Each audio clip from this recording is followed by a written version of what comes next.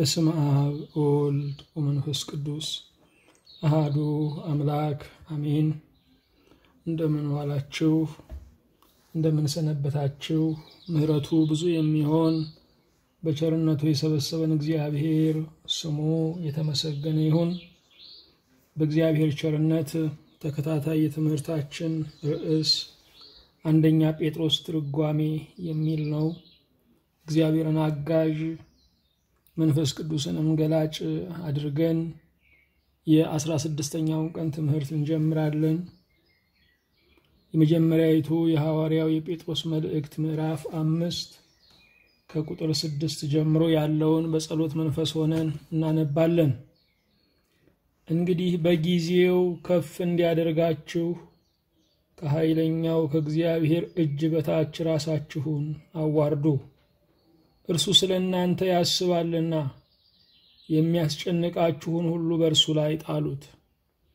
በመጠን ኑሩ፣ ንቁም። ባላጋራችሁ ዲያብሎስ የሚውጠውን ፈልጎ እንደሚያገሳ አንበሳ ይዞራልና። በዓለም ያሉት ወንድሞቻችሁ ያን መከራ በሙሉ እንዲቀበሉ እያወቃችሁ በእምነት ጸንታችሁ ተቃወሙት።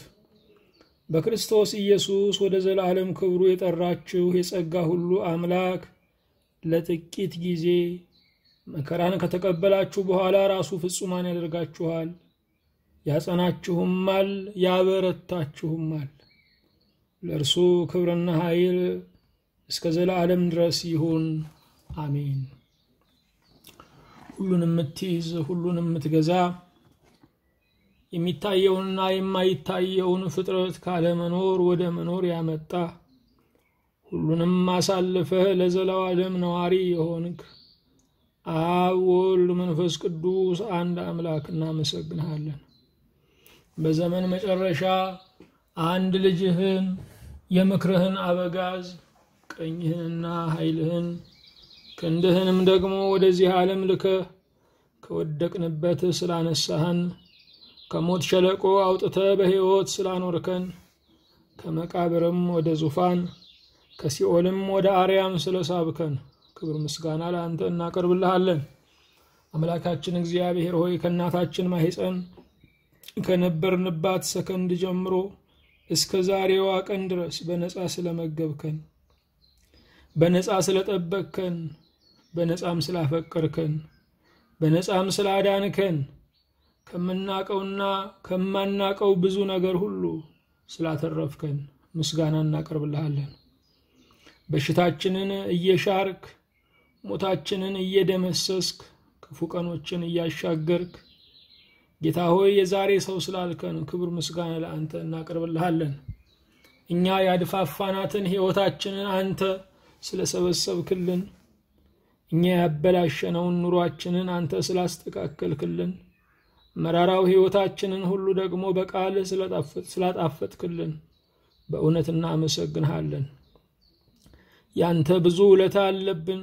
ነገር ግን ውለታ ሊከፍሉት የማያሳስብ ውለታ ነውና፣ የማያስጨንቅ ውለታ ነውና ከአንተ የተቀበልነውን ከሰው ብንቀበል ኖሮ ጭንቀቱ ፍቅሩ ራሱ አዙሮ ይደፋን ነበረ።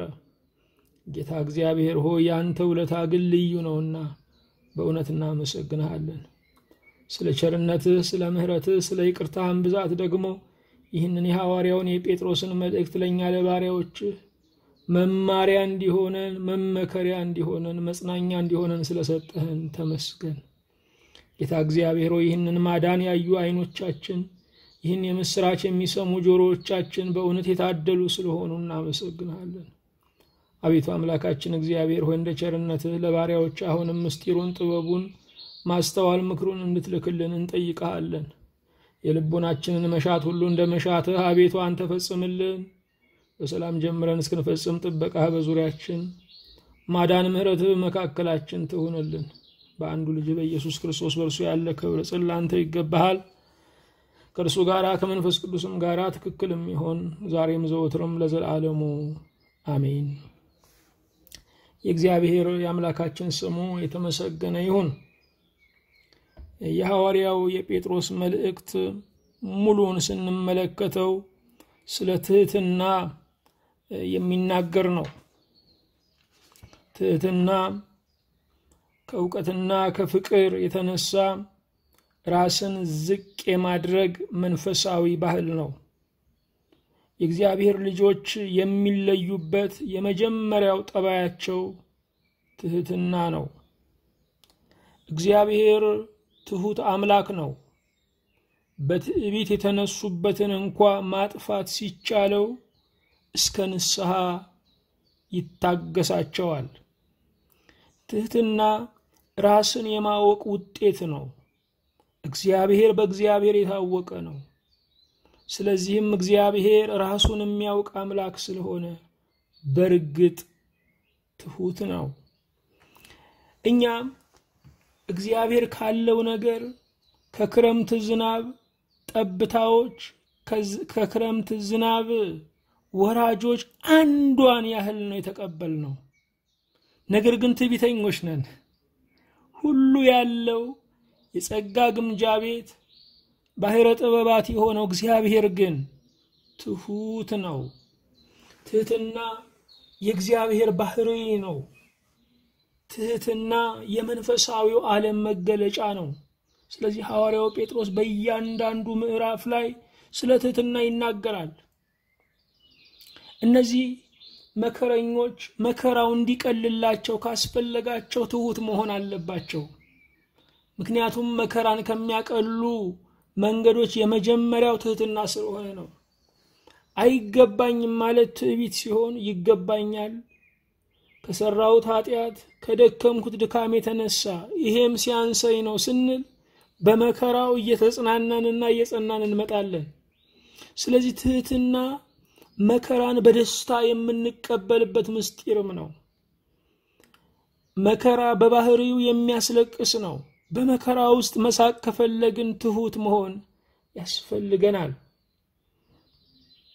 የጴጥሮስ መልእክት ስለ ትህትና ሲናገር በትህትና ራሱን በመስቀል ላይ ስላዋለው አምላክ ይናገራል። በዚህ ዓለም ላይ የሰራነውን ኃጢአት እንኳ ኃላፊነት ወስደን ንስሐ ለመግባት ፈቃደኛ አይደለንም። ሰው የራሱን ስህተት መሸከም በማይፈልግበት ዓለም ላይ የሁላችንን ኃጢአት በመስቀል ላይ የተሸከመው የእግዚአብሔር ልጅ ኢየሱስ ክርስቶስ እርሱ ትሑት ነው።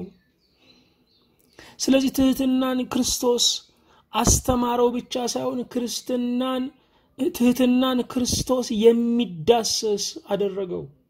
ትህትና ተዳሳሽ የሆነው ትህትና በጎዳናችን የተመላለሰው በቤታችን የበላው የጠጣው ትህትና ጓደኛ፣ ትህትና ወዳጅ፣ ትህትና መስዋዕት የሆነው በጌታችን በኢየሱስ ክርስቶስ ነው። ሚስቶች ለባሎቻቸው ባሎችም ደግሞ ለሚስቶቻቸው እንዲታዘዙ ሐዋርያው ይናገራል። ይህም ትህትና ነው። ንጉሥን እንዲያከብሩ፣ ወንድሞችን እንዲወዱ፣ እግዚአብሔርን እንዲፈሩ፣ ሁሉን እንዲያከብሩ ይናገራል። ይህም ትህትና ነው። ሎሌዎች ለጌቶቻቸው በቅንነት እንዲታዘዙ ይናገራል። ይህም ትህትና ነው። ይህ ብቻ አይደለም። ፍቅር የኃጢአትን ብዛት ይሸፍናልና ከሁሉ በፊት እርስ በርሳችሁ አጥብቃችሁ ተዋደዱ ይላል። የሌላውን ኃጢአትና የሌላውን ድካም ዓለማውያን እንደሚያዩት ከሳሾች እንደሚያዩት የማያምኑት እንደሚያዩት አይደለም የምናየው። እኛ መንፈሳውያን የምናይበትና መንፈሳውያን ያልሆኑ ሰዎች የሚያዩበት ዓይን ለየራስ ነው። አንድ ታሪክ እናስታውስ። ጻድቁ ኖህ ዳግማዊ አዳም ሁኖ ዓለምን ያተረፈ በእርሱ ቤተሰብ ነገደ ሴም፣ ነገደ ያፌት፣ ነገደ ካም ተብሎ ፍጥረት ወይም ደግሞ የአዳም ዘር እንዲቀጥል ያደረገ ነው። ይሄ ኖህ ጻድቁ ኖህ መላው ዓለም ጠፍቶ ሳለ የተገኘ ሰው ነው። ይሄ ኖህ ግን ከመርከብ ከወረደ በኋላ ወይን ተከለ፣ ወይኑን ቀርጦ ወይን ጠጅ አደረገ፣ ጠጥቶ ሰከረ። በሰከረ ጊዜም ልብሱን አውልቆ እርቃኑን ታየ።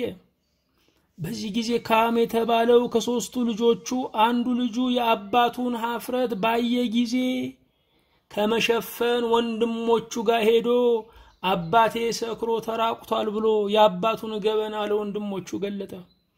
ወንድሞቹ ግን የተራቆተውን አባታቸውን በዓይናቸው ለማየት ፈርተው ሸማ ይዘው ፊታቸውን አዙረው አለበሱት። ከስካሩ በነቃ ጊዜ ኖህ የሆነበትን አወቀ። ካምን ረገመው፣ የወንድሞች ባሪያ ሁን አለው። ልብ አድርጉ፣ ኖህ ሰክሯል? አልሰከረም፣ ሰክሯል። ካም ለወንድሞቹ የተናገረው ንግግር ውሸት ነው? እውነት ነው? እውነት ነው። ነገር ግን እዚህ ጋር የሚሰራው እውነት የመግለጥ እውነት ሳይሆን የመሸፈን እውነት ነው። አንድ ወንድም ተራቅቶ ብናየው፣ አንድ ወንድም ደክሞ ብናየው፣ አንድ ወንድም ወድቆ ብናየው ሌሎች ሳያዩ እኔ ያየሁት እንድጸልይለት ነው። ሌሎች ሳያዩ እኔ ያየሁት ከእኔ ይልቅ የሚሸፍነው ሰው እንደሌለ እግዚአብሔር ስላወቀ ነው። ይሄ ለእኔ ሸክሜ ነው። ይሄ ለእኔ ስራዬ ነው። ይሄ ለእኔ ወንድሜን የማተርፍበት አገልግሎቴ ነው ብለን ማሰብ አለብን። ወገኖች ዛሬ በቤተ ክርስቲያን የሰው ገበና እየተሸጠ ነው ያለው። በእውነት ብቻ አይደለም፣ በውሸት ጭምር ድርሰት እየተደረሰ የሰው ስም እየተበከለ ነው ያለው። ዓለማውያን ጋር ያለው እንዲህ ከኛ ጋር ካለው ጋር ስናነጻጽረው በደጅ ያሉት ሰዎች እኛን ፈርተው እኛን ጠልተው እኛን ተጸይፈው የወጡ ነው የሚመስለው።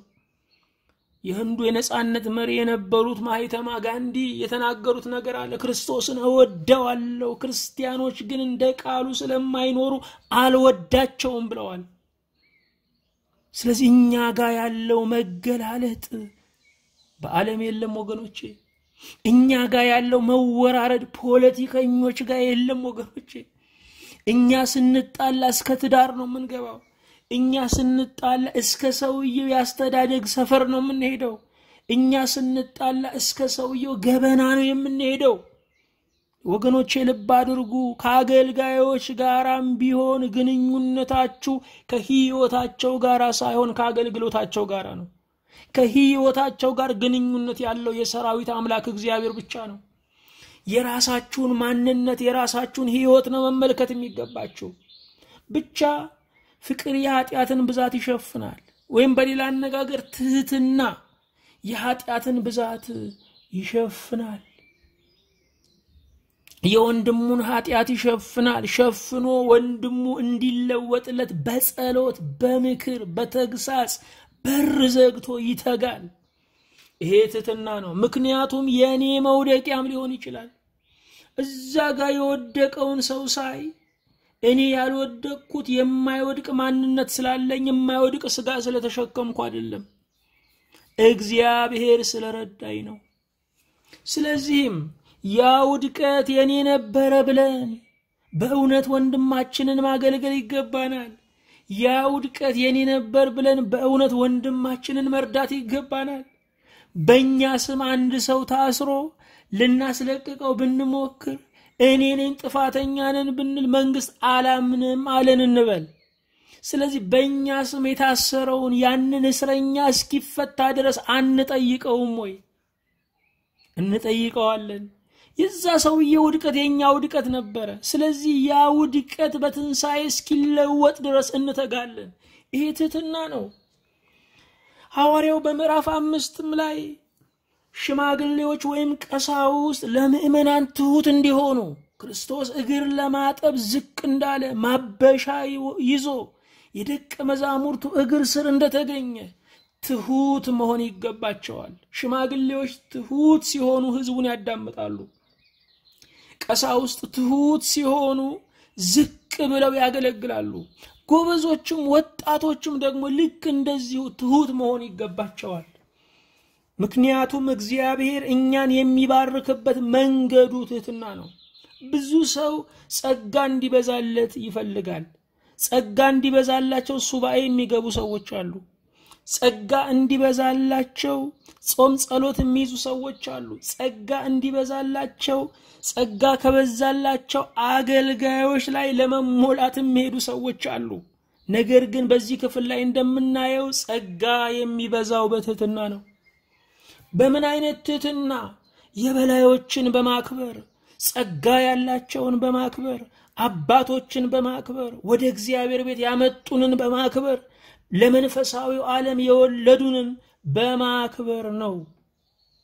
ሐዋርያው ስለ ትህትና ይጽፋል። በእውነት ትህትና ከወጣ ክርስትና ክርስትና መሆን ይቀራል። ምክንያቱም ጌታችን ኢየሱስ ክርስቶስ እኔ አዋቂ ነኝ አላለም። ጌታችን ኢየሱስ ክርስቶስ እኔ ትሁት ነኝ ነው ያለው። እኔ ትሁት ነኝ፣ እኔ የዋህ በልቤም ትሁት ነኝ ነው ያለው። ምክንያቱም አንዳንድ ሰዎች የአንገት ትሁታን አሉ። አንገታቸውን ስብር ያደርጋሉ፣ ልባቸው ግን እንደቆመ ነው። አንዳንድ ሰዎች የጉልበት ትህትና አላቸው። ጉልበታቸውን ሽብርክ ያደርጋሉ፣ ልባቸው ግን እንደደነደነ ነው። ስለዚህ ጌታ እኔ በልቤ የዋህ እኔ የዋህ በልቤም ትሁት ነኝ አለ። ጌታ ትሁት ነው። ስለዚህ የክርስትና መልኩ መሪውን መምሰል አለበት። ልብ አድርጉ። የአንዳንድ የሃይማኖት መሪዎቻቸው ነጋዴዎች ስለነበሩ በዛ እምነት ውስጥ ያሉ ሰዎች በመላው ዓለም የሚታወቁበት የሥራ ዘርፋቸው ንግድ ነው። መሪን መከተል ተፈጥሯዊ ነው። መሪን መምሰል ተፈጥሯዊ ነው። የኛ የሃይማኖት መሪያችን ደግሞ ትሁት ነው። ስለዚህ እኛም ትሁታን መሆን ይገባናል። እግዚአብሔር ትሁት ነው። በዚህ ክፍል ላይ ግን እንደተገለጠው እግዚአብሔር ኃይለኛ ነው። ስለዚህ ትህትና ማለት ትንሽ መሆን ማለት አይደለም። ትሁት መሆን ማለት ትንሽ መሆን ማለት አይደለም። እንደውም ትህትና የኃያልነት መገለጫ ነው መገለጫ ነው። የበላይ አባቶችና የስር ምዕመናንን ስንመለከት ቀሳውስትንና ወጣቶችን ስንመለከት የትውልድ ክፍተቶች አሉ። የትውልድ ጦርነቶች አሉ። ስለዚህም ወጣቶች ሽማግሌዎቹን ቀሳውስቱን ሁል ጊዜ ወደኋላ ጎታች ያደርጋሉ። ሽማግሌዎቹ ደግሞ ወጣቶች የሚያደርጉትን ነገር በሙሉ ይጠራጠራሉ። ስለዚህ የበላዩና የበታቹን የሚያገናኘው ድልድዩ ምንድን ነው? መስመሩ ምንድን ነው ካልን ትህትና ነው። ሽማግሌዎችም ትሁት መሆን አለባቸው። ወጣቶችም ትሁት መሆን አለባቸው። በእውነት ጌታችን ኢየሱስ ክርስቶስ ሁሉ እያለ ሁሉ እንደሌለው ራሱን ባዶ አደረገ ነው የሚለው ፊልጵስዩስ ምዕራፍ ሁለትን ስናነብ። ስለዚህ ምስጢረ ስጋዌ በራሱ ሌላኛው ስሙ ትህትና ነው። እግዚአብሔር ሰው ሆነ ስንል ትሁት ሆነ ማለት ነው። ሰማይና ምድር የማይችሉት አምላክ በእመቤታችን ማኅፀን ተወሰነ ስንል ትሁትና ነው። ሰማይ መንበሩ ምድር መከዳው የሆነ ጌታ በበረት ተወለደ ስንል ትህትና ነው። ሰማይን በከዋክብት ያስጌጠ ምድርን በአበባ ያንቆጠቆጠ እርሱ እርቃኑን ተሰቀለ ስንል ትህትና ነው። ውቅያኖስን፣ ባህርን፣ አፍላጋትን፣ የክረምት ዝናባትን የሚሰጠው እግዚአብሔር የምንጮች ሁሉ ባለቤት እግዚአብሔር ተጠማው ሲል ሆምጣጤ ተቀብሎ ዓለምን አለመደምሰሱ ትህትና ነው። ትህትና ነው። ልብ አድርጉ። ሰባኪው ሲያስተምሩ ቆሞ ነው። ምዕመናን ደግሞ ተቀምጠው ነው። ሰባኪው የእግዚአብሔር እንደራሴ ነው፣ የቆመው እግዚአብሔር ነው። ልብ አድርጉ። ምዕመናን ተቀምጠው ሰባኪው ግን ቆሞ ወይም እግዚአብሔር ቆሞ እያገለገለን ነው። ይህ ትህትና ነው። ምስጢረ ሥጋዌ ራሱ ትህትና፣ ሌላኛው ስሙ ትህትና ነው። በእስራኤል ሀገር ላይ በእስራኤል ሀገር ላይ እረኞች ከፊት ይሄዳሉ፣ በጎች ደግሞ ከኋላ ይከተላሉ። ስለዚህ በእስራኤላውያን የእረኝነት ልማድ ይህንን እስራኤል ምድረ እስራኤል ሀገር ምድረ እስራኤል ሄደን ብናይ ይህን ነገር በእርግጥ እናያለን። እረኛው ከፊት ከፊት ነው የሚሄደው ድምፁን እያሰማ አንዳንድ ጊዜም ጣፋጭ ዜማ እያዜመ ወደፊት ሲሄድ በጎቹ ይከተሉታል። ሲቆም ይግጣሉ፣ ሲሄድ ይጓዛሉ። ከእረኛቸው መለየት አይሆንላቸውም። ያለ እረኛቸው አስታውሰው ወደ ቤት መግባት አይችሉም። ስለዚህ ሕይወታቸውና ኑሯቸው ከእረኛው ጋር የተቆራኘ ነው። እረኛው ከፊት ቀድሞ በጎቹን ያስከትሏል። ሐዋርያው ጴጥሮስ ያለው ምሳሌ ይሁኑ እንጂ አለ። መንጋውን በኃይል አትግዙ። ምን ማለት ነው? ምሩት፣ ከፊት ቅደሙ፣ በተግባር አሳዩ። ከዛ በኋላ ለማስከተል ለማሳመን አይቸግራችሁም ማለቱ ነው። በሀገራችን ደግሞ በተቃራኒው ነው ያለው። በጎች ከፊት ነው ያሉት፣ እረኛ ከኋላ ነው ያለው። ስለዚህ እረኛ ከኋላ ሲሆን አይመራም፣ ይነዳል። እረኛ ከኋላ ሲሆን አይመራም፣ ይገፋል። ስለዚህ እረኞች አሁንም ከዘመኑ ጋራ ከትውልዱ ጋራ መታረቅ አለባቸው። ይሄ ማለት የፈረንጅ ቋንቋ ይወቁ ማለት አይደለም። ይሄ ጥሩ ነው። ከዘመኑ ጋር ይጓዙ ማለት አሁንም አለባበሳቸውን ያስተካክሉ ማለት አይደለም። ከዘመኑ ጋር ስንል ብዙ ነገሮች መዘርዘር እንችላለን። ነገር ግን እንደ እግዚአብሔር ቃል በትህትና ሆነው ያገልግሉ። ትህትና በየትኛውም ዘመን ዋጋው አያንስም። ወደ ትምህርታችን እንግባ። አሁንም አንደኛ ጴጥሮስ ምዕራፍ አምስት ቁጥር ስድስት በእውነት እድለኞች እንደሆናችሁ ልታስቡ ይገባል። ምክንያቱም እግዚአብሔር ስለረዳችሁ ይህንን የእግዚአብሔርን ድምፅ እየሰማችሁ ነው። እኔም እድለኛነት ይሰማኛል። ምክንያቱም የከበረውን የወንጌል ቃል ለመናገር እድልም ዘመንም ስላገኘው እግዚአብሔርን አመሰግናለሁ። ስለሰጠን በጎ እድል እግዚአብሔር ይመስገን። ሌባ ስለማይሰርቀው በጎ እድል እግዚአብሔር ይመስገን። ከጌታ እግር ስር ቁጭ ብሎ እንደ ማርያም እህተ አልዓዛር እህተ ማርታ እጌታ እግር ስር ቁጭ ብሎ ቃሉን ለመስማት ስለበቃን እግዚአብሔር ይመስገን። እንደዚህ ይላል ቃሉ፣ እንግዲህ በጊዜው ከፍ እንዲያደርጋችሁ ከኃይለኛው ከእግዚአብሔር እጅ በታች ራሳችሁን አዋርዱ። እንግዲህ በጊዜው ከፍ እንዲያደርጋችሁ ልብ አድርጉ ወገኖቼ። ከፍ የማለት ምስጢሩ ዝቅ ማለት ነው። ዝቅ ስንል እግዚአብሔር ከፍ ያደርገናል። የሚቀባ ሰው የሚሾምን ሰው አስቡ። ራሱን የሚሾም ራሱን ንጉሥ ነኝ የሚል መሳለቂያ ነው የሚሆነው። ነገር ግን ራሱን አይገባኝም ብሎ ሲጠራ ለሹመት ሲቀባ ለንግስና ክብር ነው። እግዚአብሔር ከፍ እንዲያደርገን ምስጢሩ ዝቅ ማለት ነው። እግዚአብሔር ከፍ ያደርጋል፣ ነገር ግን ዝቅ እስክንል ይጠብቃል። ይሄ ዝቅታ ምንድን ነው ስንል ለበላዮች መታዘዝ ነው። ይሄ ዝቅታ ምንድን ነው ስንል በዕድሜም በማመንም ለሚበልጡን ዝቅ ስንል ነው። እንግዲህ በጊዜው ከፍ እንዲያደርጋችሁ እግዚአብሔር ከፍ ያደርጋል። እግዚአብሔር ግን ከፍ የሚያደርገው በጊዜ ነው። የእግዚአብሔር ስራ እንዲከናወንልን እንፈልጋለን። የእግዚአብሔር ስራ ግን በእግዚአብሔር ጊዜ የሚፈጸም ነው። ብዙዎቻችን የእግዚአብሔርን ነገር በእኛ ጊዜ እንላለን። ነገርን ሁሉ በጊዜ ውብ አድርጎ ሰራው ይላል። ስለዚህ ጊዜ እግዚአብሔር ለእኛ የሚያስፈልጉንን ነገሮች ውብ አድርጎ የሚሰራበት ነው። በጊዜ ውስጥ ያለው ምንድን ነው ስንል ውበት ነው ያለው። አንድ ነገር ላይ ጊዜ ስታጠፉ መጨረሻው መደምደሚያው ምንድን ነው? ውበት ነው። ከአፈር ላይ ዘግናችሁ ወርቅን እሳት ውስጥ ከታችሁ ካነጠራችሁ በኋላ እንደገና ለምትፈልጉት ነገር ስታዘጋጁት መጨረሻው ውበት ነው።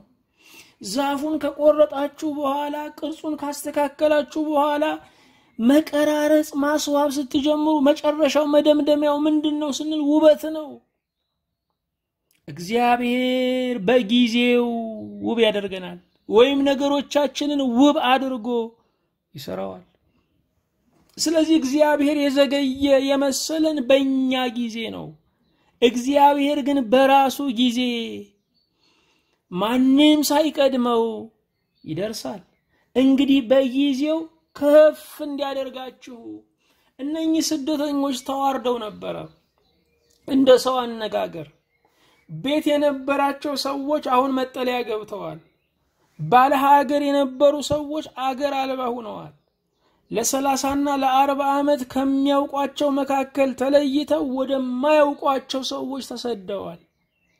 በጊዜው ከፍ እንዲያደርጋችሁ መከራው በራሱ ብቻውን የሚያመጣው ነገር የለም። በጊዜው ከፍ የሚያደርግ እግዚአብሔር ነው። መከራው በራሱ ልክ መከራው ሲያልቅ መጨረሻው ላይ ክብር አልታሰረም። ገመዱን ስትጨርሱ ጫፉ ላይ በሬውን እንደምታገኙ አይደለም። መከራ በራሱ የሚሰጠን ቸርነት የለም። የመከራና የፈተናው ዘመን ካለፈ በኋላ በጊዜው እግዚአብሔር ከፍ ያደርገናል። የከፍታውን ዘመን እንድንለምደው እግዚአብሔር የዝቅታውን ዘመን ያሳየናል። በከፍታው ዘመን ላይ ታማኝ እንድንሆን እግዚአብሔር በዝቅታ ውስጥ እኛን ይሰራናል። የእግዚአብሔር የሙከራ ጣቢያ ነው። እግዚአብሔር ልጆቹን የሚሰራበት ስፍራ ነው። እግዚአብሔር በሚሰራት አዲሲቷ ዓለም በቤተ ሙከራ ውስጥ ልጆቹን ያሳልፋል። እርሱም መከራ ተብሎ ይጠራል። እንግዲህ በጊዜው ከፍ እንዲያደርጋችሁ እግዚአብሔር ለአንተ ጊዜ አለው። እግዚአብሔር ለአንቺ ጊዜ አለው። ያንን ጊዜ ንጉሥ አያስቀረው፣ ሰራዊት አያበላሸው። እግዚአብሔር ለእያንዳንዳችን የቀጠረልን ለእያንዳንዳችን የቀጠረልን የበረከት ጊዜ አለ፣ የክብር ጊዜ አለ። ዛሬ ተዋርደን ሀገር አልባ ሆነን በገዛ ወገኖቻችን ተገፍተን የዜግነት መብታችን እንኳ ተረስቶ ሊሆን ይችላል። በጊዜው ግን እግዚአብሔር ከፍ ያደርገናል። በምድር ላይ ትንሽ ምሳሌ ሊሆን ይችላል።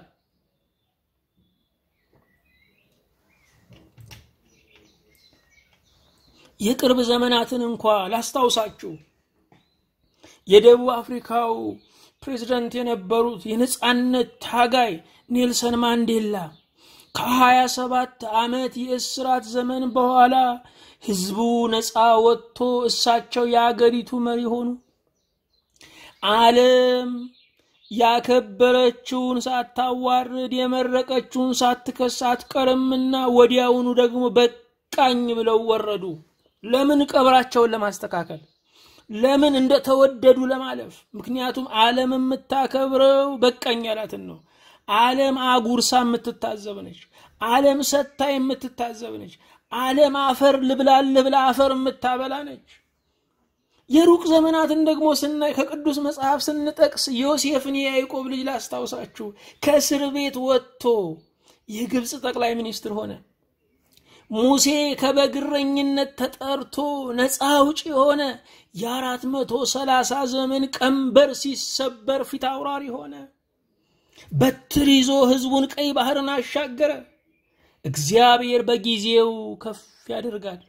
ዛሬ በማጣት የምትሰቃዩ ሰዎች ማግኘት እንዳያስጨንቃችሁ። አግኝቼ እግዚአብሔርን አከብረው ይሆን?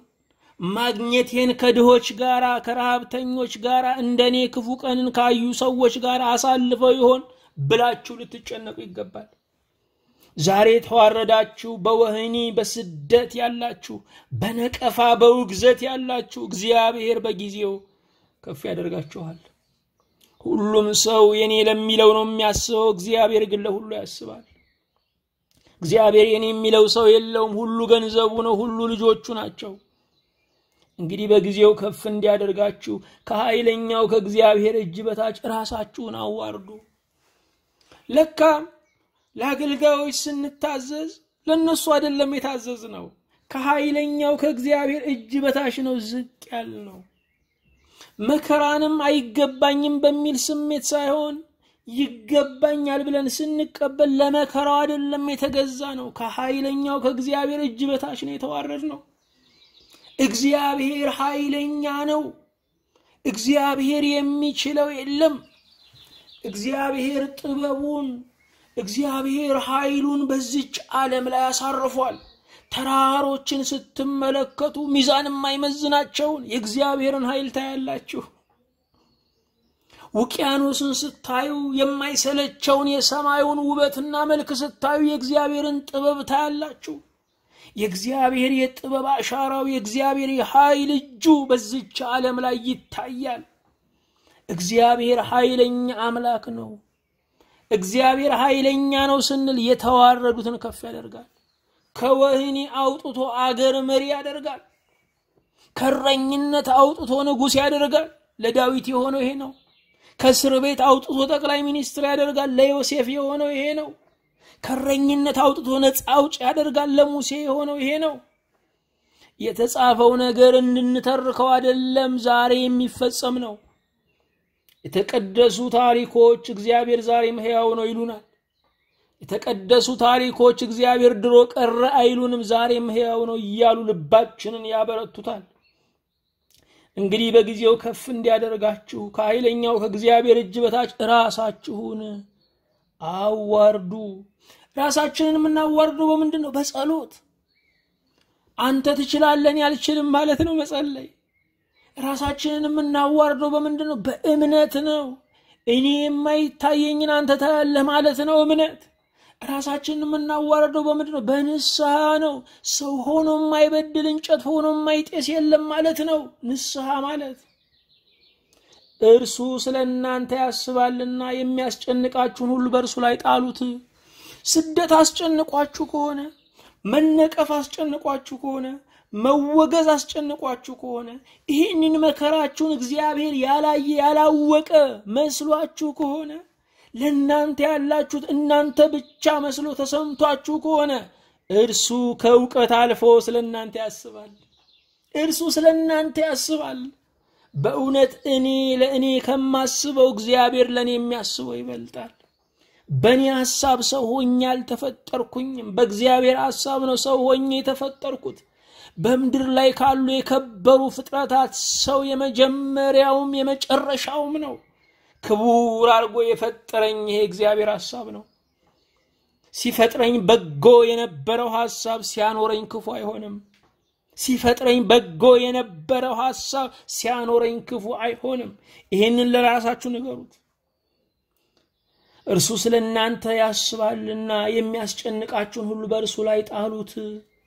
አንድ ሰው የሚይዘውን ነገር ሁለት ሰው ከያዘው መጓተት ይመጣል። ቀላሉ ነገር መክበድ ይጀምራል። እግዚአብሔር የእናንተን ጉዳይ፣ እግዚአብሔር የእናንተን አጀንዳ፣ እግዚአብሔር የእናንተን ጥያቄ ከያዘው እናንተ መልቀቅ አለባችሁ። እግዚአብሔር የያዘውን ነገር እኛ ሊያዝ ስንል ጭንቀታችን እየጨመረ ቀላሉ ነገር እየከበደ ፊኛው የብረት ያህል እየተጫነን ይመጣል። የብረት ያህል እየተጫነን ይመጣል። እርሱ ስለ እናንተ ያስባልና የሚያስጨንቃችሁን ሁሉ በእርሱ ላይ ጣሉት። ይህ ከነቢዩ ከዳዊት የተወሰደ ነው። ከመዝሙር 54 የተወሰደ ነው። ትካዜህን በእግዚአብሔር ላይ ጣል፣ እግዚአብሔር ለጻድቁ ለዘላለም ሁከትን አይሰጠውም ይላል። ለእውነተኛው ሰው ለዘላለም ሁከትን ለዘላለም የእንባ ኑሮን አይሰጠውም ይላል። እግዚአብሔር ይመስገን። የሚያስጨንቃችሁን ሁሉ በእርሱ ላይ ጣሉት ይላል። መጣል ማለት ሙሉ በሙሉ ከኛ ቁጥጥር ውጭ አድርገን እሱ ላይ ማስቀመጥ ነው። እሱ ሳለልኝ፣ እሱ እያሰበልኝ እኔ ለምን ዋትታለሁ ብሎ በሰላም መተኛት ነው። እኛ ግን የጣልን ይመስለናል፣ ጫፉን ይዘነዋል። ወገኖቼ መጨነቅ በእግዚአብሔር ፍቅር መጨነቅ በእግዚአብሔር መቻል፣ መጨነቅ በእግዚአብሔር ኃይለኛነት አለማመን ነው። ከያስጨነቀን ነገር በላይ መጨነቃችን እምነትን ማጣት ነው። እግዚአብሔርን የሚያሳዝነው መከራችን፣ እግዚአብሔርን የሚያስጨንቀው ጉዳያችን አይደለም፣ አለማመናችን ነው። ስለዚህ መጨነቅ በእግዚአብሔር አለማመን ነው። በመጠን ኑሩ ንቁም፣ ባላጋራችሁ ዲያብሎስ የሚውጠውን ፈልጎ እንደሚያገሳ አንበሳ ይዞራልና። ሰይጣንን ከምናሸንፍባቸው መንገዶች አንዱ በመጠን መኖር ነው። በመጠን ስንኖር ለመጸለይ ጊዜ እናገኛለን። ስለዚህ ዲያብሎስን ድል እንነሳለን። ምክንያቱም ዲያብሎስን ድል የሚነሳው ከዲያብሎስ ጋር ነፃ ትግል መግጠም አይደለም፣ ከእግዚአብሔር ጋር ህብረት ማድረግ ነው። ወደ እግዚአብሔር ስንቀርብ ሰይጣን ከኛ ይሸሻል። ልብ አድርጉ። ወደ ከነአን መጓዝ ከግብፅ መራቅ እንደሆነ ወደ እግዚአብሔር ህልውናና ክብር፣ ወደ እግዚአብሔር ፈቃድና ዓላማ መጠጋት ከሰይጣን መራቅ ነው። በመጠን መኖር ጠላትን ከምናሸንፍበት መንገድ አንዱ ነው። ጠላት እኛን የሚያገኘን በመጠን ባለመኖር ውስጥ ነው። ኑሮዬ ይበቃኛል ባለማለት ውስጥ ነው። ባለን ነገር መርካት ባለመቻላችን ውስጥ ነው። በመጠን ኑሩ። ብዙ ሰዎች በመጠን ስለማይኖሩ በምኞት ሰክረዋል። በመጠን ስለማይኖሩ አንዱ ትዳር በቂ አይመስላቸው። በመጠን ስለማይኖሩ አንዱ ቤት በቂ አይመስላቸው። በመጠን ስለማይኖሩ አንዱ ሀገር በቂ አይመስላቸው። በመጠን ኑሩ ወገኖቼ። ዓለሙ የመጠን ዓለም ነው። ጤነኛ ሆነን የምድር ጉዟችንን እንድንጨርስ በመጠን መኖር ያስፈልጋል። መንግስተ ሰማያት እንዳለች ጥርጥር የለንም። መንግስተ ሰማያት ባትኖር እንኳ ለልከኛ ኑሮ ክርስትና ያስፈልጋል። ለልከኛ ኑሮ፣ ለጤናማ ህይወት፣ ለጤናማ ኑሮ ክርስትና ያስፈልጋል። በመጠን ኑሩ፣ ንቁም። የሚደንቅ ነገር ነው። ጴጥሮስን አስታውሱ። በመተኛቱ ምክንያት በዛች ምሽት በፈተና ወደቀ። ለመጸለይ ተኛ፣ ሰይፍ ለመምዘዝ ግን ነቃ። ጴጥሮስ ያችን የእንቅልፍ ሰዓት ያችን የመፍዘዝ ሰዓት ቢያሳልፋት ኖሮ በዛች ምሽት አይወድቅም ነበረ። ያንን የሰይጣንን ፈተና ያልፈው ነበረ። ንቁም።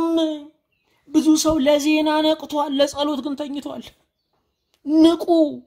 ወሬ ለማቀባበል ነቅቷል፣ የእግዚአብሔርን ቃል ለመናገር ግን ፈዟል። ንቁ። ምክንያቱም የነቃንበት ነገር በእሳት ላይ ቤንዚል ነው እየሆነ ያለው። የነቃንበት ነገር የመከራ ሰንሰለትን ያመጣው። የነቃንበት ነገር አንዱ ድንኳን ሳይፈርስ ሌላ ለቅሶ መጥቶ እዛኛው ነው የሚተከለው። ድንኳኑ ወደ መጋዘን እንዲገባ አላደረገ። በሐዘን ለሐዘን በችግር ላይ ችግር ነው እያመጣብን ያለው። ንቁ። መንቃት ያስፈልጋል። ቃሉን ለመስማት ወሬ ከማሯሯጥ መንቃት ያስፈልጋል። ከመተኛት ለጸሎት ንቁም። ብዙ ክርስቲያን ፈዟል። ንቁም። ባላጋራችሁ ዲያብሎስ የሚወጣውን ፈልጎ እንደሚያገሳ አንበሳ ይዞራልና። ባላጋራ ጠበኛ አይደለም። ባላጋራ ባለፈው ሳምንት ጀምሮ የተኮራረፍ ነው አይደለም። ባላጋራ የዘመን ጠላት ነው። በእኛ መልካም ነገር የማይደሰት ነው። ሰይጣን ቂመኛ ነው ተብሏል። ለዚህ ነው ቂመኛ የዲያብሎስ የብህር ልጅ ነው የሚባለው። ሰይጣን ቂመኛ ነው። ምክንያቱም የእሱ እርስት ለእኛ ጭምር ነው የተደረበው። ስለዚህ አዳምን ይጠላው ነበረ። በዚህ ምክንያት አቂመው ከገነት እንዲወጣ አደረገው። ዛሬም ያቂመኛ ባላጋራ የዘመን ጠላታችን ዲያብሎስ የሚውጠውን ፈልጎ እንደሚያገሳ አንበሳ ይዞራልና ዲያብሎስ አንበሳ ነው አይልም በዚህ ክፍል ላይ። በሌላ ቦታ ላይ የይሁዳ አንበሳ ኢየሱስ ክርስቶስ ይላል። እዚህ ላይ እንደኔ የሚለው እንደ አንበሳ እንደሚያገሳ አንበሳ የሚደንቅ ነገር ነው። እንደሚያገሳ አንበሳ የሚውጠውን ፈልጎ ይዞራልና አንበሳ ከመስበሩ ከመብላቱ በፊት ያገሳል። በድምፁ ለማስፈራራት ለማራድ ይፈልጋል። ስለዚህ በዛፉ ላይ ያሉት ወፎች፣ በመሬት ላይ የተጠለሉ እንስሳቶች ግሳቱን ሲሰሙ የሚጠፉበት መንገድ ይሰወራቸዋል። የሚያመልጡበት መንገድ ይሰወራቸዋል። ዲያብሎስ የሚያገሳ ነው። ይፎክራል። እገልሻለሁ፣ ልጆችሽን አሳብዳለሁ፣ ትዳርሽን አፈርሳለሁ የሚል ሰይጣን ፉከራ አለው። አምላካችን ረድኤት አለው። ሰይጣን ፎካሪ ነው። ስለዚህ ልንፈራ አይገባም። ሰይጣን በፉከራ ጥርጥር ውስጥ ይከተናል። በጥርጥር እምነታችንን ያሳጠናል። ከዛ በኋላ ሳንዋጋ እጅ እንሰጣለን። እንደሚያገሳ አንበሳ ሰይጣን ያገሳል። እግዚአብሔር የተስፋ ቃል ሰጥቶናል። የሚውጠውን ፈልጎ መዋጥ ማለት ማኘክ እንኳ የለውም። ልብ አድርጎ የሚውጠውን ፈልጎ ስለዚህ ዲያብሎስን እንዴት አድርገን እንሳለው ስንል ጥርሶቹ ጥርሶቹ የረገፉ አንበሳ ነው። ቀራኒዮ ላይ ጌታ የአንበሳውን ጥርሶች ሰብሮታል። ጥርሶቹን ውሃ አድርጓቸዋል። ስለዚህ ሰይጣን መዋጥ ነው የሚፈልገው። መዋጥ ማለት ሰውየውን ከነ ህይወቱ መጠቅለል ነው። ዲያብሎስ ከነመዳናችን ሊውጠን ይፈልጋል። የምድሩንም የሰማዩንም ሊያበለሻሽብን ይፈልጋል። የሚውጠውን ፈልጎ ሰይጣን ከንብረታችን ጋር አይደለም ጉዳዩ። ሰይጣን ጉዳዩ ከመዳናችን ጋር ነው ወገኖቼ። እንደውም ሰይጣን ቢኖረው ሀብታም ያደርገናል። ሀብታም ሆነን ከሃዲ ብንሆን ለሰይጣን ደስታው ነው። ሀብታም ሆነን እግዚአብሔር የለሽ ብንሆን ለሰይጣን ደስታው ነው። ሰይጣን በዋናነት የሚቃወመው በረከታችንን ሳይሆን ህይወታችንን ነው። ይዞራልና ነው የሚለው። ስለ ኢዮብ በእግዚአብሔር ፊት ሪፖርት ባደረገ ጊዜ ወይም ደግሞ ባወራ ጊዜ የተናገረው ምንድነው? ምድርን ዞርኳት ነው የሚለው። ልብ አድርጉ። የእግዚአብሔር ቅዱሳን መልእክተኞች ናቸው። ሰይጣን ደግሞ ዟሪ ነው። ይዞራል ይላል። በኢዮብ ላይም ዞርኳት ብሏል። ሰይጣን ዟሪ ነው። ዟሪ ደግሞ ምንድን ነው? ወሬ የሚለቃቅም ነው። ስራ የሌለው ስራ የሚያስፈታ ነው። ሰይጣን ዟሪ ነው፣ ወረኛ ነው ወገኖቼ። ብዙ ሐሜት በበዛበት ቦታ ላይ ሰይጣን ነግሶ ታዩታላችሁ። የሚውጠውን ፈልጎ እንደሚያገሳ አንበሳ ይዞራልና የሚዞረን ከሆነ ክፍተት ይፈልጋል ማለት ነው። በዛ ክፍተት ይገባል። ክፍተቱ በመጠን አለመኖር፣ ክፍተቱ አለመንቃት፣ ክፍተቱ አለመጸለይ ሊሆን ይችላል። ክፍተቱ ለትዳራችን ጊዜ አለመስጠት፣ የቤተሰብ ጸሎትን ማስታጎል ሊሆን ይችላል። በዛ ይገባል። ክፍተቱ ከእግዚአብሔር ጉባኤ መለየት ሊሆን ይችላል። በዛ ይገባል። በዓለም ያሉት ወንድሞቻችሁ ያን መከራ በሙሉ እንዲቀበሉ እያወቃችሁ በእምነት ተቃወሙት። ይሄ ነገር በእናንተ ላይ ብቻ ይሆን አይደለም። ክርስቲያኖች በላይ ባለው በበረዶ አገር ላይ ካሉ ክርስቲያኖች በታች ባለው ደግሞ በበረሃው አገር ላይ ካሉ ሁሉም ክርስቲያን የሚፈተነው በአንድ ሰይጣን ነው። ስለዚህ መከራችሁ ተመሳሳይ ነው። በዓለም ያሉ ሁሉ በምታልፉበት ውስጥ ያልፋሉ። አንድ ነገር ላስታውሳችሁ ወገኖቼ፣ የመጀመሪያው ሰይጣንን ከእግዚአብሔር በላይ ኃያል አታድርጉ። ሰይጣንን ከእግዚአብሔር በላይ ብርቱ አታድርጉ። ዛሬ በብዙ ክርስቲያኖች ዘንድ ሰይጣን ነግሶባቸዋል። ሰይጣን ኃያል ሆኖ ይታያቸዋል። ደጋግመን እንደምንናገረው እንኳን ዛሬ ሰይጣን ሆኖ አይደለም፣ ቀድሞ መልአክ እያለም ኃይሉ ውስን ነው። ኃይለኛው እግዚአብሔር ብቻ ነው። ክብሩ ወሰን የሌለው አቅሙ ወሰን የሌለው እግዚአብሔር ብቻ ነው። ስለዚህ ሰይጣንን መፍራት፣ ሁሉን ነገር ለሰይጣን መስጠት ተገቢ አይደለም። ሁሉን ነገር ለሰይጣን መስጠት ተገቢ አይደለም ወገኖቼ። አለመሳካታችን ሁሉ የሰይጣን ስራ ነው ማለት። ራስ ምታት ሲይዘን ሰይጣን እየፈተነኝ ነው ማለት። ድስቱ ሲያር ሰይጣን እየፈተነኝ ነው ማለት። ተናግረን መግባባት ሲያቅተን አሁንም ሰይጣን እየተዋጋኝ ነው፣ ፍልሚያ ላይ ነኝ ማለት ብዙ የሚያስኬድ አይደለም። መኖር ያለብን ኑሮ መኖር አለብን። ኃላፊነት መውሰድ ባለብን ኃላፊነት መውሰድ አለብን። ባለመብሰል ምክንያት የምንቀበላቸው የማይገቡ መከራዎች አሉ። ይሄንን እውነት ማመን አለብን። ሁሉን ለሰይጣን መስጠት ክርስቲያኖች ይሄንን በእውነት ሊረዱ ይገባል። ሁለተኛው ክርስቲያኖች ሊረዱት የሚገባው ነገር የትኛውም ዓለም ላይ ቢኖሩ ስለ ክርስቶስ የሚሸከሙት መስቀል አይቀርም። ዘመን ቢሰለጥን ዲሞክራት የሆኑ መንግስታትና ሀገራት ውስጥ ብንጠለል ስለ ክርስቶስ የምንቀበለው መከራ አይቀርም። የመከራው አመጣጥ ሊለያይ ይችላል። መከራው ግን አይቀርም። ክርስትና በየትኛውም ግዛት፣ በየትኛውም ስልጣኔ፣ በየትኛውም ዘመን ውስጥ ይገፋል። በዓለም ያሉ ወንድሞቻችሁ እኛ እዚህ ነፃነት በሌለበት ሀገር በጣም የተደቆስን፣ እዛ ደግሞ ያሉት እንደልባቸው እግዚአብሔርን በነፃነት የሚያመልኩ ይመስለናል። በሁሉ ቦታ ላይ ስለ ክርስቶስ ግን መከራ እንቀበላለን። ይልቁንም በዛ ስላሉት ወንድሞቻችን እንዲጸኑና እንዲጽናኑ መጸለይ ያለብን። በእምነት ጸንታችሁ ተቃወሙት ይላል። ስለዚህ ዲያብሎስን የምንቃወመው በጽንዓት ነው። ያመንኩትን አልለቅም። ሞት ቢመጣ እንኳ ከሞት ያድነኛል። ባያድነኝም ስለ ዋጋና ስለ ስሌት ስለ ትርፍ አይደለም፣ ስለ እግዚአብሔርነቱ እከተለዋለሁ ብለን እንደ ሰለስቱ ደቂቅ እንደ ሶስቱ ወጣቶች በእምነት ጸንተን መቃወም ይገባናል። ወታደር የሚያሸንፉ በመሳሪያው አይደለም፣ በጽናቱ ነው። ጽኑ መሆን ያስፈልጋል። ያ መንፈሳዊ የክርስቶስ ወታደር ጽኑ መሆን አለበት። በክርስቶስ ኢየሱስ ወደ ዘላለም ክብሩ የጠራችሁ የጸጋ ሁሉ አምላክ ለጥቂት ጊዜን መከራን ከተቀበላችሁ በኋላ ራሱ ፍጹማን ያደርጋችኋል፣ ያጸናችሁማል፣ ያበረታችሁማል ይላል። እንዴት ደስ የሚል ነገር ነው! በክርስቶስ መስዋዕትነት በክርስቶስ ቤዛነት ወደ ዘላለም ክብሩ የጠራን ወደሚያልፍ ክብር አይደለም ወገኖች፣ ወደ ዘላለም ክብሩ የጠራን። ሰርግ ቤት ስንጠራ ክብር ክብር ይሰማናል ወገኖቼ። የተመረቅን ቀን ክብር ክብር ይሰማናል። የተሾምን ቀን ክብር ክብር ይሰማናል። ይሄ ሁሉ ኃላፊ ነው። ይሄ ሁሉ ኃላፊ ነው። ዛሬ ናፖሊዮን የለም፣ ጥርኛ አፈር ሆነዋል። ቀዳማዊ ኃይለ ሥላሴ የሉም፣ ጥርኛ አፈር ሆነዋል። ነጠላ አንጥፎ ይሰግድላቸው የነበረ ህዝብ ስገድ ሳይባል ይሰግድ የነበረ ህዝብ በማግስቱ ሌባ ብሏቸዋል።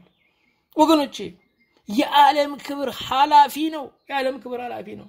የቀዳማዊ ኃይለ ሥላሴ አጽማቸው ተገኘ ተብሎ እንኳ በአዋጅ እንዲቀበሩ አልተፈቀደም። የአንድ ድሃ ቀብር እንኳ አይሞላም ነበረ። ዓለም ከንቱ ነው ወገኖቼ፣ ከንቱ ነው። ክብሩ ኃላፊ ነው። የዘላለም ክብር ግን ያለው በክርስቶስ ነው። የጸጋ ሁሉ አምላክ ይላል እግዚአብሔር። የሀብታት ሁሉ ባለቤት ነው። ምንድን ነው ከእግዚአብሔር የምትፈልጉት? ጥበብ ነው፣ ማስተዋል ነው፣ ምክር ነው፣ ኃይል ነው፣ ራስን መግዛት ነው፣ ፈሪሃ እግዚአብሔር ነው። እግዚአብሔር የጸጋ ሁሉ አምላክ ነው። ይህንን ሁሉ ሊሰጠን በጎደለን ሊሞላን እግዚአብሔር አደግድጎ ቁሟል። የአምላክ እጆች አይሰስቱብንም።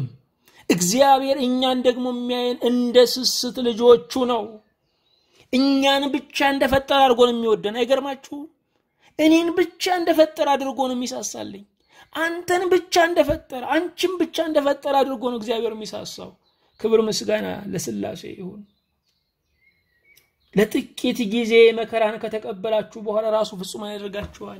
መከራው ለዘላለም አይደለም። በሚያልፍ መከራ ውስጥ የማያልፍ ትምህርት፣ የማያልፍ ክብር አለን የሚለው ለጥቂት ጊዜ መከራው እኛ ጋር የሚቆይበትን ጊዜውን የሚወስነው መከራው አይደለም፣ ይበቃሃል የሚለው እግዚአብሔር ነው።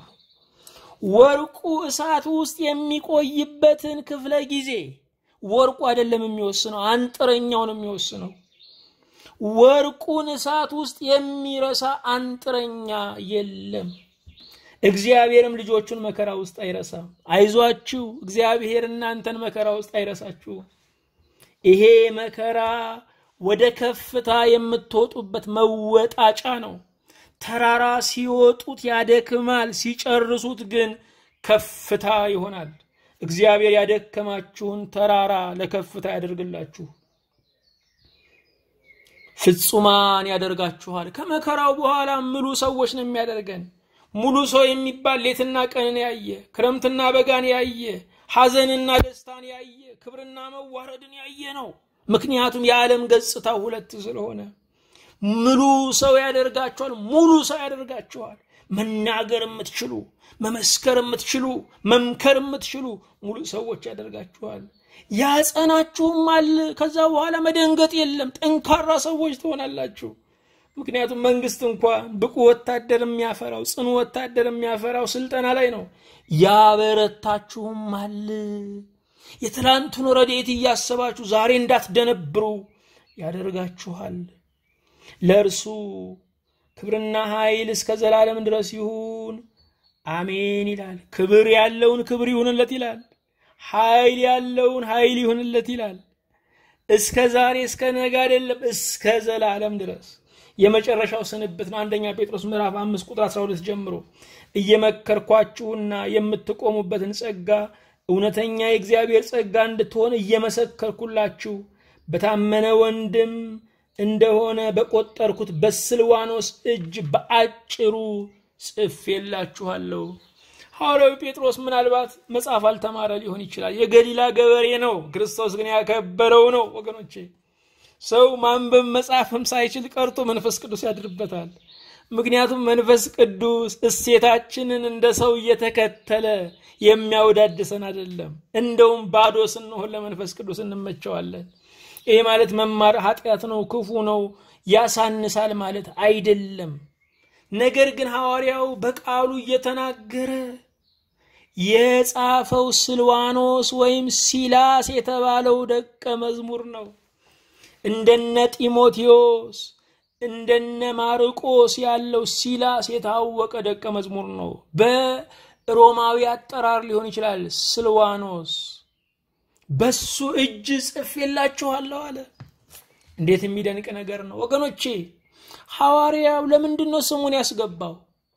ስሙን ያስገባው ምንም እንኳ ጸጋው በእኔ ላይ ቢሆን ምክሩ የመንፈስ ቅዱስ ምክር በእኔ ቢተላለፍም ለመጻፍ ብራና ቀርጾ ብራና ዳምጦ ቀለም በጥብጦ በመጻፍ ያገለገላችሁ ሲላስ ነው። በጸሎት አስቡት። ወንድማችሁ ነው፣ ውደዱት። ተግቶላችኋል፣ አፍቅሩት ማለቱ ነው። ቤተ ክርስቲያን ለሁሉም ዋጋ ትሰጣለች። በቅዳሴዋ በጸሎቷ ዕጣን ያመጡትን የስሙን ጧፍም ያመጡትን ሰዎች ታስባለች። በመንበርህ ፊት አስባቸው ትላለች። ምክንያቱም ለእግዚአብሔር የሚደረግ ትንሽ ስራ የለም። ለትልቁ እግዚአብሔር የሚደረግ ትንሽ ስራ የለም። ስለዚህ እኛም በእውነት ስናገለግል ወንበር የሚወለውሉትን፣ ስናገለግል ግቢውን የሚጠርጉትን፣ ስናገለግል ውሃ ቀድተው የሚያመጡትን፣ ስናገለግል የቅዳሴውን ጠበል የሚያድሉትን፣ ስናገለግል ሙዳየ ምጽዋት የሚያዞሩትን ስማቸውን ጠቅሰን ልንጸልይላቸው ምዕመናን እንዲያከብሯቸው ልናሳስብ ይገባናል። ከእናንተም ጋር ተመርጣ በባቢሎን ያለች ቤተ ክርስቲያን ልጄ ማርቆስ ሰላምታ ያቀርብላችኋል። በዚህ ክፍል ላይ ባቢሎን የተባለችዋ የዛሬዋ ኢራቅ አይደለችም።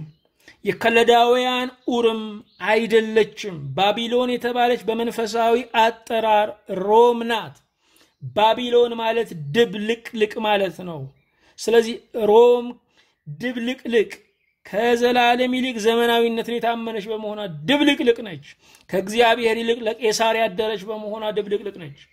ልጄም ማርቆስ ሰላምታ ያቀርብላችኋል። የማርቆስን ወንጌል የጻፈው ማርቆስ ነው። ማርቆስ ጌታችን ኢየሱስ ክርስቶስ በሚያስተምርበት ዘመን ልጅ ነበረ። ልጅ እንደነበረም ይገመታል። ስለዚህም ወንጌሉን የጻፈው ጴጥሮስ እየነገረ ነው ተብሎ ይታመናል። የማርቆስ ወንጌል ከማለትም የጴጥሮስ ወንጌል ማለት እንደሚቀርብም ሰዎች ይናገራሉ። ይሄ ማርቆስ የሐዋርያው የጳውሎስም ደቀ መዝሙር ሆኖ ተከትሎ ነበረ። በአንድ ወቅት ግን ሐዋርያው ጳውሎስ በማርቆስ ደስ ስላልተሰኘ አርቆት ነበረ። በርናባስም ማርቆስን ይዞ ሂዶ ነበረ።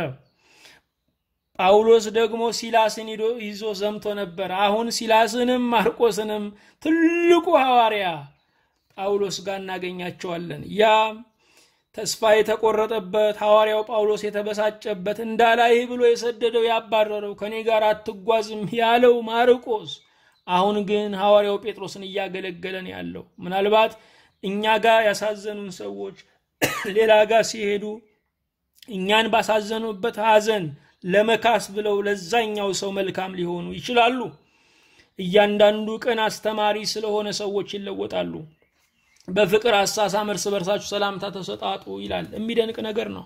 በሌላ ስፍራ ላይ በተቀደሰ አሳሳም ነው የሚለው። ለካ የተቀደሰ አሳሳም ማለት ምን ማለት ነው ስንል የፍቅር አሳሳም ነው። ሐዋርያው ተርጉሞታል። በፍቅር ሆናችሁ ሰላምታ ተሰጣጡ። በጥንቷ ቤተ ክርስቲያን ሰላምታ የሚሰጠው ከአገልግሎት በኋላ ነው። ከአገልግሎት በኋላ ምዕመናን ሰላም ይባባላሉ።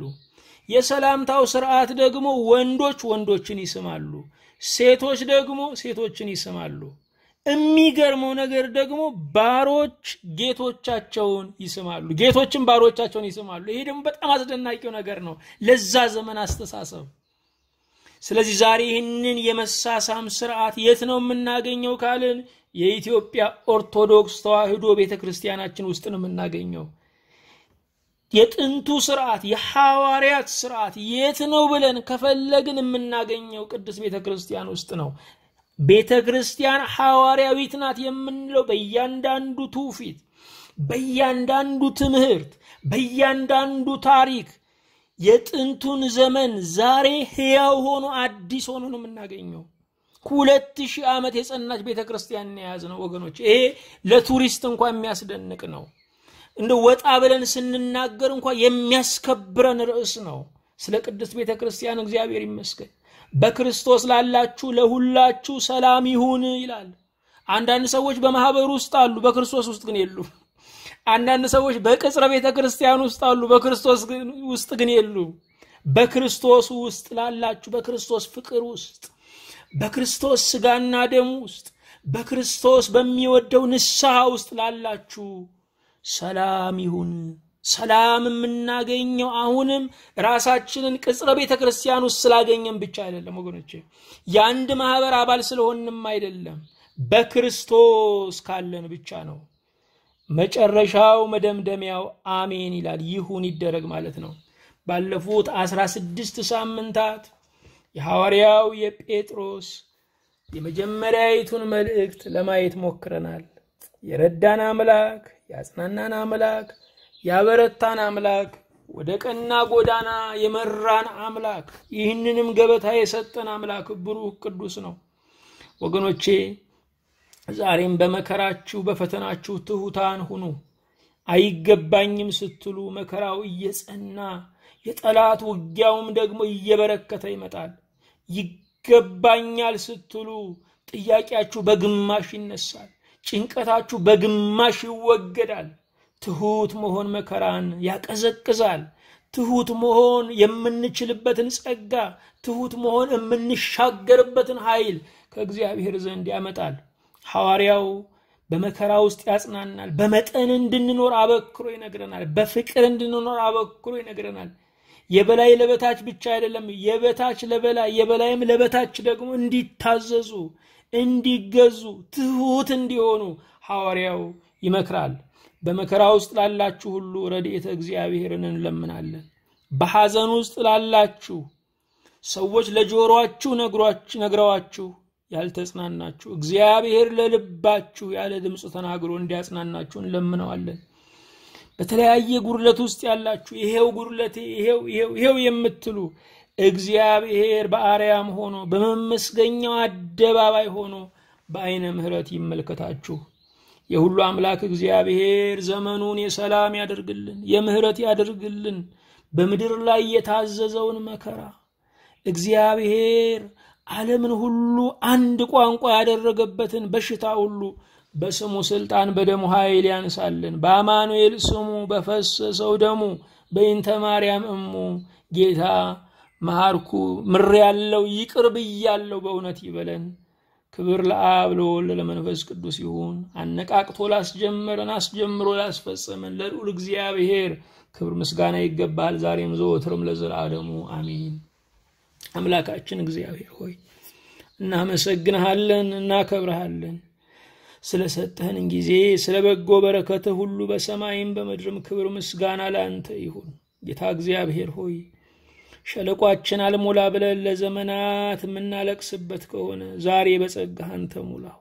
ነገስታት የማይሞሉትን፣ ጠቢባን የማይሞሉትን፣ ባለጠጎች የማይሞሉትን፣ ዝነኞች የማይሞሉትን፣ አፈኞች የማይሞሉትን አንተ ትሞላለህ። እንድትሞላለን እንማጸንሃለን። የመከራው ቀንበር ተጭኖን ጎብጠን ከሆነ ቀና ብለን ለመሄድ ዓመታት አልፈውን ከሆነ እግዚአብሔር ሆይ እንደ ቸርነት ቀና ብለን የምንሄድበትን ጸጋ ከሰማይ ላክልን። አቤት ሆይ ለሁሉም የመደብከው ጊዜ አለ። እስከዛ ጊዜ ድረስ መታገስን፣ መጽናትን፣ ተስፋ ማድረግን ለባሪያዎች እባክህ አድለን። በስደት ያሉትን ወገኖቻችንን አስብ። በህመም ያሉትን፣ በእስር ቤት ያሉትን፣ መሪር በሆነ በሰው አገዛዝ የተያዙትን ሁሉ ብርሃን ይሁን ያለው ቃል ዛሬ በነፍሳቸው ላይ ያብራ፣ በትዳራቸው ላይ ያብራ፣ በኑሯቸው ላይ ያብራ። ጌታው ይቺ ቀን ለምልክት ትሁንና እነዚህ ወገኖቻችን ሁሉ ከስራት ይፈቱ፣ ከሐዘን ይጽናኑ፣ ከድካም ይበርቱ፣ ከእንቅልፍ ይንቁ። ጌታ እግዚአብሔር ሆይ በአብ በወልድ በመንፈስ ቅዱስ በረከት የተባረኩ ይሁኑ። ከእግዚአብሔር ግምጃ ቤት በስም ሰፈርንላቸው። ጌታዊ ከታላቁ ባለጠግነት ከማይጎለው ባለጠግነት ጤና ለሚፈልጉ ጤናን ሰፈርንላቸው። በረከት ለሚፈልጉ በረከት ሰፈርንላቸው። ሰላም ለሚፈልጉ ሰላም ሰፈርንላቸው። እንደ ቸርነት እኔንም ደካማ ባሪያህን በቸርነት አስበኝ። በአንተ ጸጋና ምሕረት ጠብቀኝ። በአንድ ልጅ በኢየሱስ ክርስቶስ በእርሱ ያለ ክብር ላንተ ይገባሃል። ከእርሱ ጋራ ከመንፈስ ቅዱስም ጋር ትክክል ይሆን ዛሬም ዘወትርም ለዘላለሙ አሜን።